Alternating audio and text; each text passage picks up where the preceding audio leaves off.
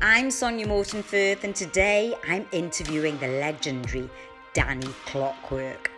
Danny Gould, creator of the iconic Clockwork Orange, talks about how he recently helped raise over £38,000 in conjunction with Centreforce Radio to help support the NHS staff during COVID 19. We talk about the future of the clubbing scene in the aftermath of COVID and when Danny will be putting on his big events again. Thank you so much for being a guest on my show. It's great to have you here. How are you doing? Yeah, I'm not bad. I'm I am enjoying the sunshine. I actually go back to work tomorrow officially for the first day. Oh wow, what are you doing? When you I've my my day job is I'm a project manager in construction. Oh wow, so that's getting back up and running. That's that one. and then on the first of June my landscape company starts again. So yeah.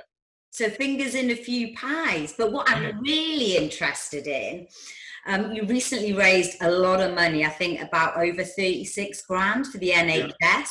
yeah. Tell me about that and uh, what you did and how you raised that money. Um, we, in conjunction with Centreforce, excuse me, in conjunction with Centreforce, we held an all day. I started, I started off at eight o'clock, and it went on till something like three in the morning. And um, we contacted everybody and said, "How'd you fancy being involved? How'd you going to be for charity? You know, like times are bad, but like we can do something good on the back of that." And everybody came back and said yes. And you know, we got them all together, sorted it all out. Did it with Centreforce. We they claim we broke the internet. There's no way we broke the internet. There's, so many people trying to access the um, DAB station that it went into meltdown basically. And it was wow. like they're they're claiming like you know millions of like hits and stuff across the world and uh, online and it was what when you put them statistics together millions and we raised 38 grand i don't see it as too good an achievement. Don't get me wrong. Still 38 grand. It's still 38 grand better than nothing um but um yeah, and that was it. And you know, I mean, I've done the breakfast, I've done the warm up, I played slut Balearic stuff, and then I come home. And if we do a clockwork, and I come home, I'm not. That's it, I'm done. But I just listened to it all day long. Sun was shining, I had my headphones on. It was good. It's fantastic. And have you got any more plans to do any more charity work? I mean, can, can people still donate to this? By the way, no, we closed that one off. We gave them the money because because people started saying, "Why can't you do this? Why can't you do that?" It was registered charity. Yeah. So we gave all the money to them. Um, we're waiting for their receipt now so that we can publicise that and say, look, there you go, it's all fully legit. Um, and it was the NHS, then, was it? Was it was the NHS that you were raising. Yeah, yeah, yeah, yeah. And then um, the one we're doing in June, because we're not doing our festival, um, we're going through the process now of reimbursing all the people who want all their money back. Um, and on the 20th and the 21st of June, we're doing another one with an even bigger lineup for the weekend to replace the festival that we're not doing, all for free, all for charity, all for Centrepoint. Wow, can you talk about your lineup? Uh, yeah, if you want to try and remember, try and remember it. I mean, Todd Terry, Dr. Packer, um, Jason Byer, Jeremy Healy, you've got Brandon Alex, you've got Trevor Fung, Lisa Loud, Smokin Jo.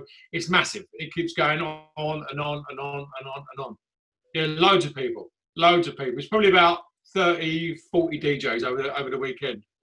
And how do you think um, this lockdown has affected partying? I mean, what are people doing now to sort of, you know, to dance and party and? You know, I've I've just stopped. I've done for five or six weeks. I've done a um, Facebook Live, and um, it accumulated this week, and so like I didn't want to, you know, like people do Facebook Live and they just stand in their DJ and they go, yeah, yeah, yeah, yeah, yeah. kind of boring, isn't it? so I was making up names for DJs, uh, like funny names. So I'd show you know Small Paul, uh, John Kelly, and John Kelly's John Kelly's Wellies, um, Baby Boy George. So I was doctoring pictures and making them. I had loads of them. I've got so many upstairs, and then um, I started buying costumes. And this week I became I had the sumo, you know the outfit, the um, the one that blows up. You put a little fan in it. I had a sumo outfit with a Kim Jong Il mask on and white gloves. that was one of them. Then I had the Queen on a blow up horse, so you got the little legs like that, and I'm on the top with a Queen mark. Well, actually, the Queen, and I played Queen at the end. Oh. I just I had a blazer and a shirt with a the handkerchief and the Boris Johnson mask, and I was talking to the camera. With all the music's going on as well. Yeah. And then I came on as um, with a Del Boy Trotter mask and um, and a sheepskin coat, and I think there's one more as well. Oh yeah, and then I've got this transvestite um, ladies outfit. Oh yeah. tassels, and these uh, it's like a big frumpy thing, and I put an Elton John mask on. Yeah. Fantastic. So what's the next? Are you going to do it again? No, that's it now. I'm back to work. I said I can't do it. I do a radio show every Saturday on Centreforce, so I, I can't do that and that and work. I'm just when I, when we come into this lockdown. To be honest, I was physically and mentally exhausted. How did it affect you? No, when I, when we got to the point when they said that's it, Mm. I was glad. I was glad for the break because I pushed myself and pushed myself for the last nine years. Like push myself. Five jobs, just finished writing a book. You know, blah blah blah. And when it came, I was like, thank God, thank God for that. I needed it. I so needed it. Tell me about the book. What's it called? It's called Gould Blimey. Cool Blimey. I like it. Gould, Gould Blimey. Cool Blimey. and is it your life story? It's the first half is about the madness, and then the second half has got sec- sections of that. But the second half of it is about me getting sober and being. We're 17 years this year. Wow. clean and sober. And um and that's what the second half of the book was about. But yeah trying to write that. So i'd work monday to friday construction. Then i've got my landscape company. Then i've got clockwork. Then i'm djing friday and saturday night. Then i'm writing a book. So you know it, it, it's took its toll to be honest. I'm, I'm worn out. So this i'm is. worn out. So did you, were you did you manage to get some rest? What do you what do you i'm do, chilled out these last five weeks i've chilled out what do you do to relax rest? Was what does Danny Gould do just to kick back? music Just music. Yeah, music. Music lifts your soul. Even, even when I got sober and my world was upside down, music was always the thing that lifted my lifted my soul. Yeah. Or gardening. I'm I'm doing my gardening again now. How did you manage to go sober? Because how long were you? I mean, you were partying hard, obviously in the in the nineties. Oh, I, I was I was partying the hardest. you know, this. Yeah. I just woke up one morning and it, and it was over. You know, you get to a certain point of insanity and you see you're going to be admitted into a lunatic asylum. Or I just woke up one morning and, as it says in the book, you know, not not promoting any way, but it is in there and it's just this voice in my head, my conscience. The first time I ever listened to it in my life, and it said to me, um, "It's seven. Is it seven words? It's game over, Dan. It's game over." Wow. That's what in my mind, and I went, "Yeah, no, mate, you're right." And that from that moment in, that was it. It was over. and you just went cold, completely cold. not cold it was it was just over i didn't have no no obsession no desire no them addictive personalities had all gone but then i just took this stuff this thing out up here you know Wow. Um, and if anyone's watching this, because it's Mental Health Week as well, obviously it, it must affect your mental health. Is there any advice you'd give to anyone that is trying to quit or you know become sober or? Yeah if you if you think you've got a problem then you probably have. There's a lot of people want to try and cut it down. In the beginning there was what two years before i actually gave up i had six weeks off beginning of january. I just started running london marathons. And um because i was crazy i didn't even want to stop. I had so much energy i was like i could just run forever. And um I had six weeks off. I felt really clean in myself and then after that six weeks, I rang my mum up and I said, "Do you think it's? Uh, do you think I'll be all right having a beer?" And my mum never used to drink, and she said, "Well, that's up to you." And I had that drink, and then after that, I started again. The next year, on the on the New Year's Day, I said, "Right, I'm going to do it again." I lasted ten days, and after that, I was drinking again, and I didn't feel no different. I just felt dirty. The year after, the year I actually stopped. I stopped in the August, and on New Year's Day, I just carried on, carried on drinking all the way through. I couldn't stop and I just went straight to AA. I went to AA and it saved my life. I went for eight years and I haven't been going for about eight or nine years. But the time I went to AA, I absolutely loved it. Wow, fantastic. And where, how did it all begin, or where did it all begin? Tell me a little bit about Clockwork back in the day. Um, Clockwork's me and Andy, my partner. Um, I said, "Do you really want the real, real, real stuff or I want the real, real dirty Oh, stuff, okay. every, all of it. Let's just say I used to duck and dive in clubs. Yeah, I was young. I was like what, 20, Oh, but you're young now, Danny. What's that? you're young now. We're all Yeah, young. well, I don't feel as young. Um, I do actually feel burnt out. That's another story. But um, yeah, so I used to go up, up London and stuff like that, and then I met this guy, and then I met someone else like uh, through friends, and I met Andy. Like I used to know loads of people from all over the place, and then Andy said, like, you know, how'd you fancy doing a party? And I said, um, well, not really sure. And he went, oh, come on, and we did it, and we started, and that was it. And then, you know, like an addict's behaviour is, it's all or nothing, everything to the extreme. And I wanted to do the best parties, and I worked my, my, my buttocks off to, to make sure they were the best parties. And that was it, 1993, January 1993. And this second, we finished in, I left in 2001 because I was um I was I weren't too right and everything had just everything was just changing then. And then we relaunched on my 40th birthday in 2012. And so this year, take out well, this year you can basically wipe off. But this year we are now running longer on the second time and more successful the second time in sobriety than we was in the first one. So, and, and how's the scene changed? Because you've still got the same followers that are coming clubbing. I know because I've been um, that are still raving, right? Yeah, yeah. Eh, The way it's changed is now it's all social media.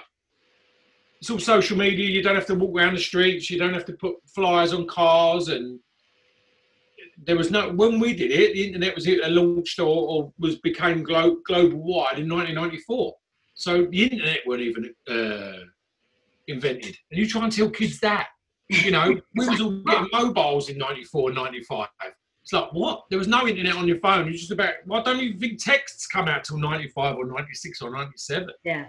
yeah, you know.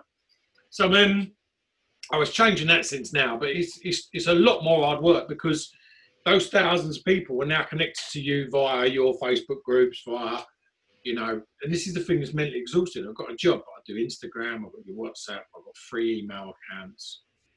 I've got the Clockwork page. I've got the Clockwork business page. I've got all the business pages that come off of that. So you're dealing every day with all your jobs and everything with like 10, 10 12 different like portals for people to access you. It's, it's exhausting. It's exhausting. So that parties in the 90s, I don't know how I organised them. I don't know how anyone got paid. Can't remember none of the parties, most of them. So that was the 90s.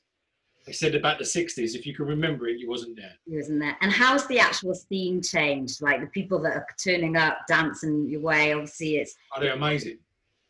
It's a, it's a lot better. I mean, I've still got footage of some of the old um, clockworks from years ago, New Year's Eve at Camden. The atmosphere is amazing. Um, 1995, May 1995 at, at Hollywood's.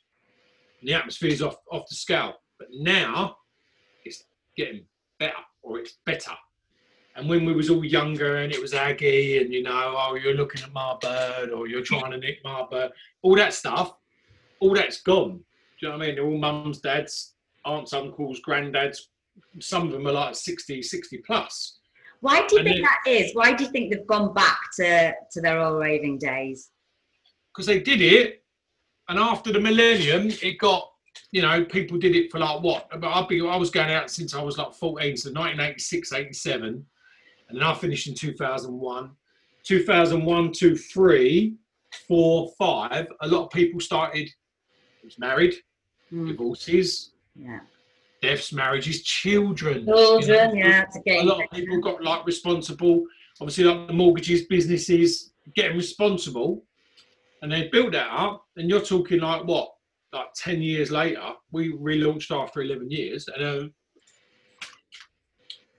that was it. They had enough being normal. They'd gone out and done stuff, but then we came back and started doing the big things again, the big production, the big lineups. They've been to bars and clubs. I knew for me, the scene had changed when my time in Clockwork was coming to an end. I'd done a party in Romford. We had one in uh, in uh, King's Cross as well, and I was doing my party in Romford. And all the people that were in there were kids, and it was my party that I was putting on before the cross. And I was standing there looking around, and I was like, I look like the manager. I don't, I don't, I, you know, I looked out. I, saw, I, I, I, I dad. I don't look like I should be in here. And I was like, oh, it was starting to change, you know. yeah. But now they come back and they're all together and they're all that same age, and, it, and it's fantastic. It is great. And they're all just lovely bunch of people because they're older and they're wiser. And they've got a bit of wisdom and a bit more, you know, that wants to go out now and create aggro and stuff like that. Just want to go out have a good time, wicked music, union, what it's all about, and, and just enjoy it. It is. It's amazing, and I have been to a few of your things, and I absolutely love it. It's given me a whole new lease of life, absolutely, and it is almost that new lease of life. You think you've you think you've passed it, and then suddenly it's like, wow, this exists, but I can still do this. And you walk in, and you don't feel the oldest person there. So no, and that and that's why and I've always said if if clockwork was to get like that, then I'd I'd stop. I'd stop. If it became the kids, then I'd stop. I wouldn't do it anymore. How long do you see yourself doing it? Um, I gave myself last year. I think I said I'd do it for about another two, two, two, three years, but I think I've got about another two years maybe.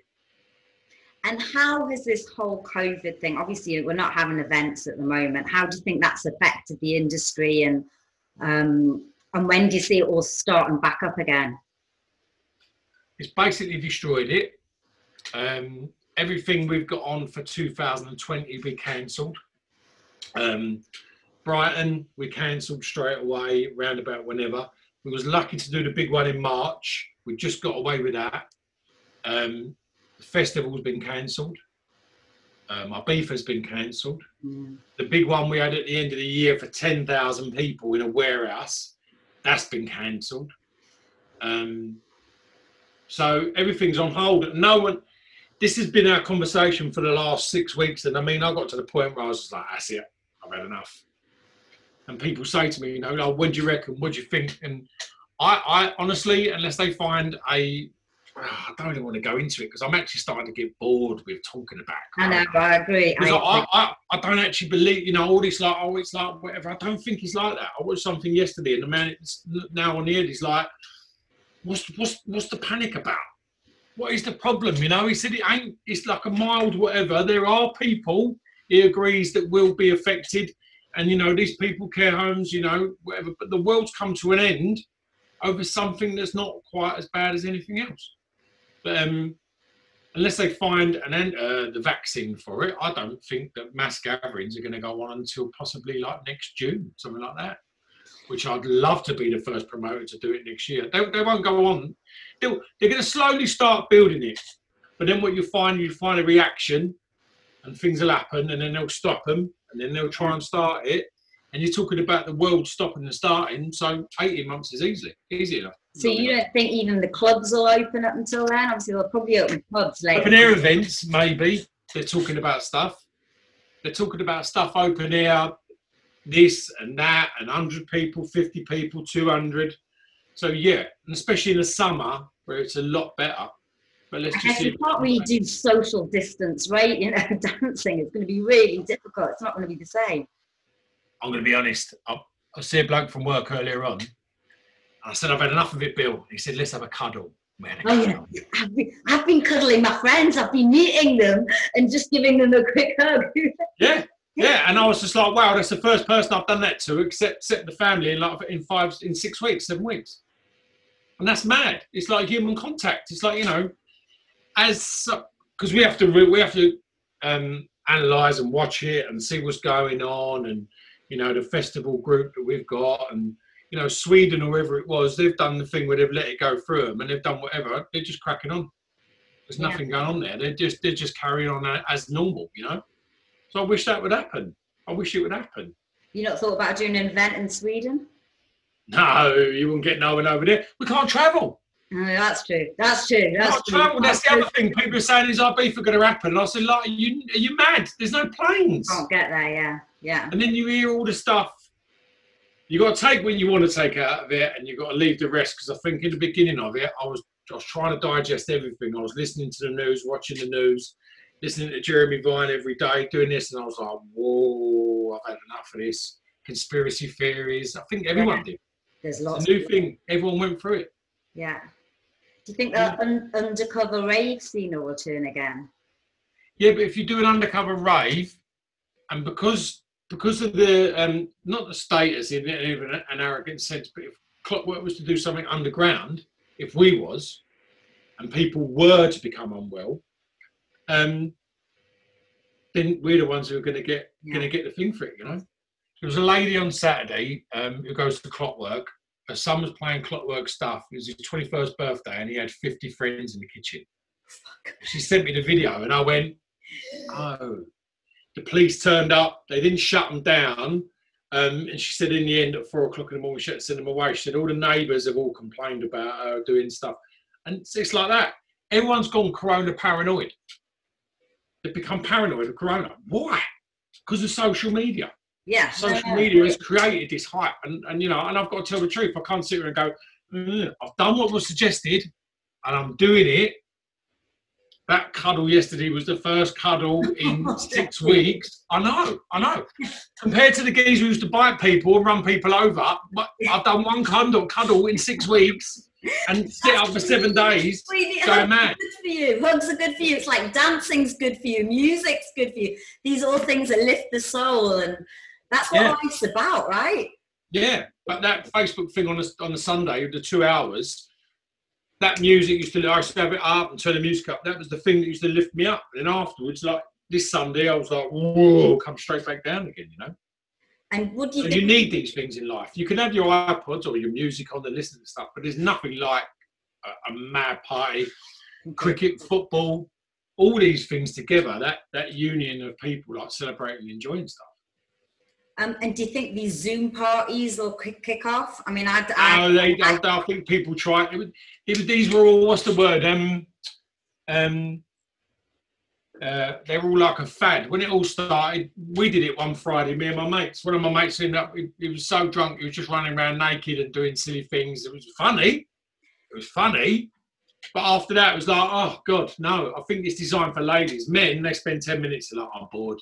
I know I tried it. I did it for an hour around my kitchen. I was making some food, dance around a bit, and then it's like you can't dance with anyone. It's boring, oh. especially if you're locked up on your own. It's like, oh, you know, you can only dance so much, right? yeah, it's all them things that came in. I mean, you know, this is online stuff. Who wants to be online? No one wants to be online. I, I don't see it as being that dangerous, and, and everybody's got it in their head now. It's the worst thing in the world. Yeah. It's the worst thing in the world, and the world's come to an end. People have died, and I respect that. Totally respect that. I don't. Other things could have been done, but then again, it's our learning period. You know, it's the learning from the first one, and if it happens again, then it shouldn't have to be so bad. Hopefully, because they'll know what to do. What do you think lessons? What lessons can we learn from all of this? Do you think?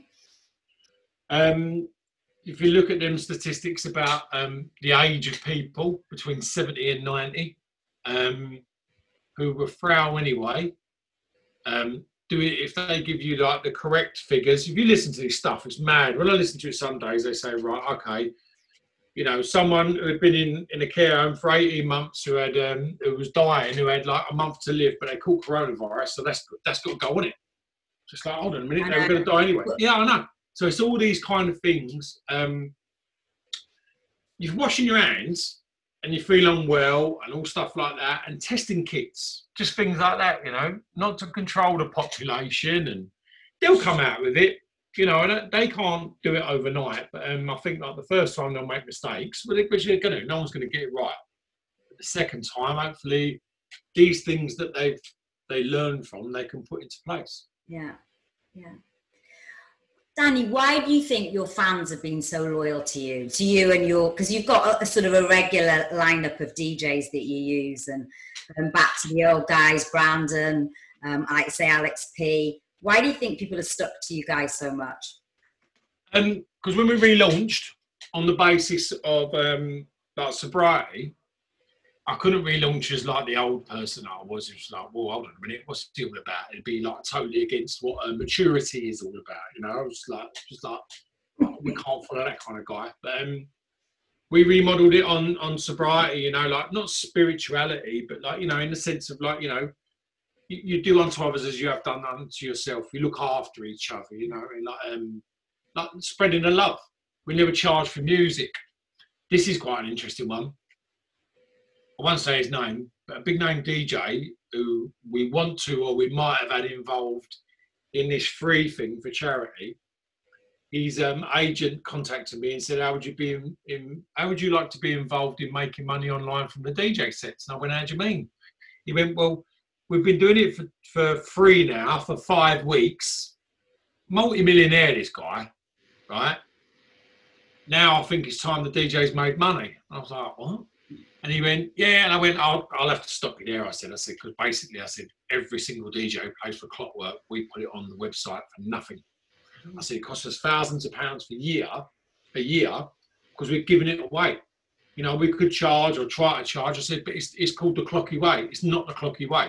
If someone finds a purse or a wallet, you hand it in. It's the clocky way. Yeah. It's the positive aspects of it, you know.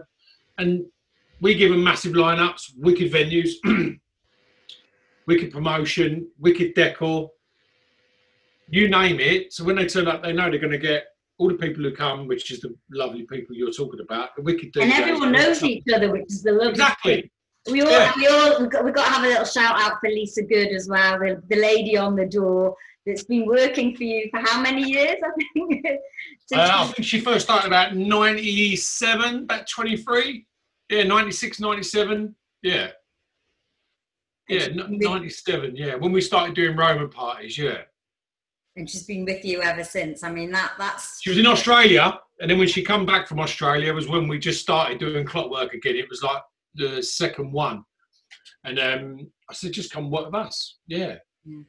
Trying to watch her, watch her. It makes me laugh sometimes watching her run around like an headless chicken. But she, yeah, she's all right. She's all right. She's got it.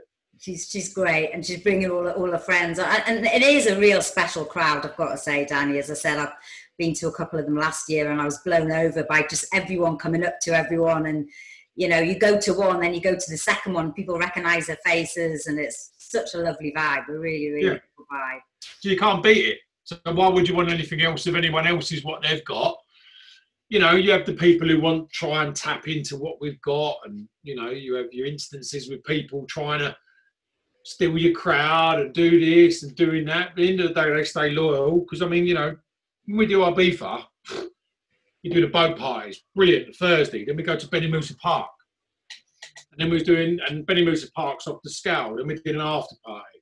Then this year we was going to do a beach party. But the beach party in Ibiza is just unreal. Unreal. Started off, the first year we went back was 2014.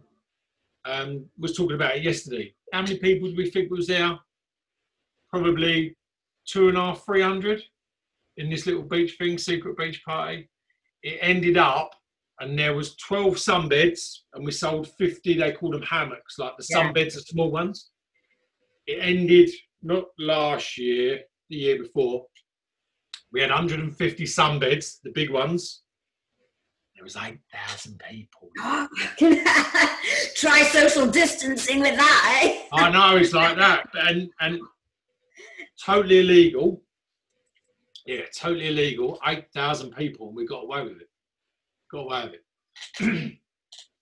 unreal. The atmosphere is unreal because the sun shines and sun goes down. It's like a rave. It's, it's brilliant. what- what's the difference doing this sober compared to being, say, off your tits that when you were in your twenties? I start coughing. I've got a thing in my throat. Um, excuse me.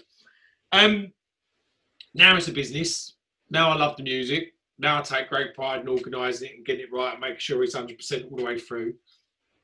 Now, when I get there from, say, it's a day party, 9 a.m., and I leave at midnight, I'm working all the time. You're going around, talk to people. You have, you do get like you know photographs of people having a laugh, messing about, um, and it's I'm on the ball. Whereas before, I'd get there and I walk in the door and I'm on it. Yeah. That was it. Where's Danny? Can't find him. I'll look under there or look in that cupboard or something mad like that, you know. And or I'd gone home. I'd even go home sometimes. I'd just leave the party and go home. So I could have a party indoors and the party's going on. Loads of times did that in Ibiza, did it, did it in England, done it all the time. Loads of times. So now I'm businessman, on the ball. Back then I was a lunatic. That's the difference. Do you ever miss those days? Hmm? Do you ever miss those days? I, I, I miss that bloke. what do you miss about him? Um, because I don't think no one goes uh, crazy anymore. Like that, that old one goes like, "I- "I'll show you, I'll show you," but this just in my head. I haven't got the energy anymore. I haven't got that energy. I just had that mad.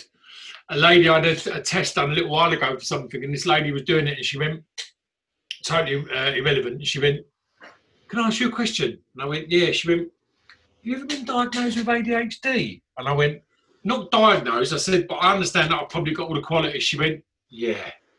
She went, Yeah.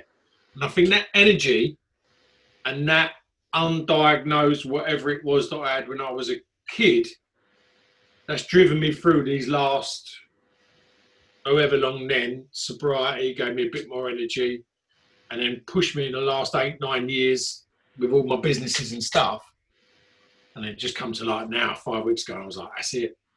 And I, I think it's actually, I've, I've got bits of it, but that mad energy of ADHD, that that's gone. I've burnt it out, I think. I've burnt it out.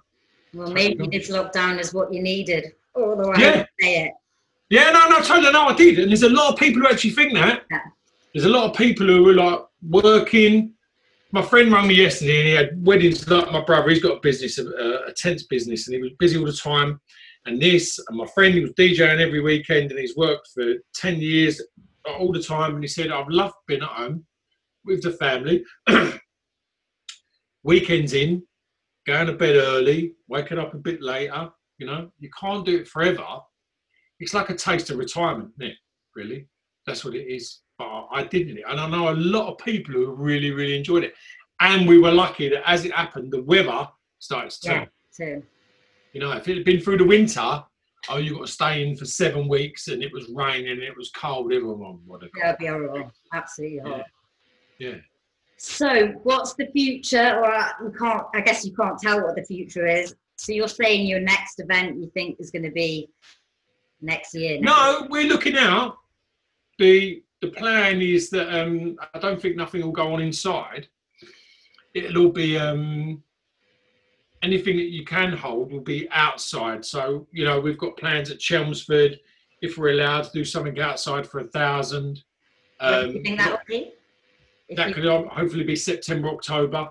this year? If, yeah, if things happen and change, we've got the possibility of doing something for like a thousand on the beach in Brighton, outside.